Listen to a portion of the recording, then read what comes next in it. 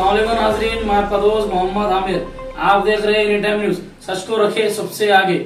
خوش آمدید، محترم ناظرین، آپ تمام کا اینی ٹائم نیوز میں خیر مقدم ہے۔ بوئن بلی میں شراب کی بوتلوں والی گاڑی الٹنے کے بعد افراتفری کا ماحول پیدا ہو گیا۔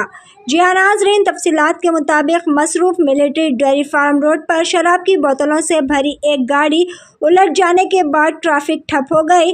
گاڑی کا ٹر پھٹنے اور الٹنے کے بعد شراب کی بوتلوں والے کارٹون باکس مین روڈ پر گرنے کی اطلاع ملتے ہی مقامی لوگوں کی تعداد بڑی تعداد میں موقع واردات پر جمع ہو گئی۔ بڑھتے ہوئے ہجوم کو دیکھ کر گاڑی ڈرائیور نے اس بات کی اطلاع فوری طور پر پولیس کو دی، جہاں پولیس نے جائے واقعوں پر پہنچ کر صورتحال کا جائزہ لیا اور لوگوں کو منتشر کر دیا، جو بڑی تیزی سے مین روڈ سے بوتلیں جمع کر رہی تھی ڈرائیور نے پولیس اور دیگر راہگیروں کی مدد کے بعد ڈبوں کو گاڑی میں رکھ کر شراب کی دکان پر پہنچایا۔ یہ افراتفری کا صورتحال تھی کہ مقامی لوگ شراب کی بوتلیں اکٹھا کرنے کے لیے ایک دوسرے سے لڑ پڑے۔ آئیے جانتے ہیں اس خصوص میں مزید تفصیلات۔ اسی طرح کی مزید خبروں سے جڑے رہنے کے لیے اینی ٹائم نیوز کو لائک کریں شیئر کریں سبسکرائب کرنا نہ بھولیں۔